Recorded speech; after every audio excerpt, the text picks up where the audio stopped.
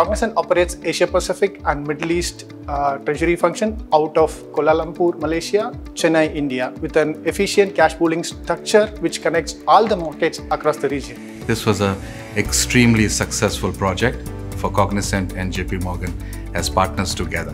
The success was driven by the fact that Cognizant was able to integrate one of their largest operations in Asia Pacific, which is in Japan, into their global treasury model and as well take cost from the system, which was onshore cost, into their offshore location, which is a lower cost center in India. The challenge was the mandatory requirement of local language in katakana script to process payments in Japan, which our ERP is unable to support and we don't have any local expertise to manage the process.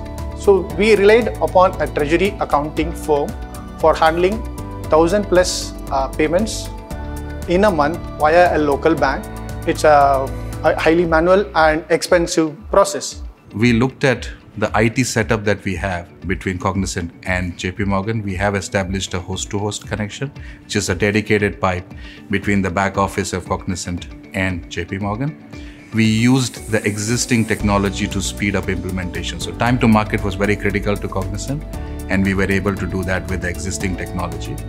The innovation part of it was really the vendor code mapping. So, Cognizant Japan did a full review of 4,000 vendor masters including the included the code into those masters and then mapped the file into the JP Morgan system. And where it helped Cognizant a lot was that they didn't have to spend money on the ERP system to include Katakana support. So understanding the problems uh, statement from the customer with the right banker, with the powerful of technology, I would say we can bring in more innovative treasury solutions in a challenging environment. JP Morgan has provided a solution, not an interim solution, I would say. It's a scalable model. They understand what exactly is the requirement.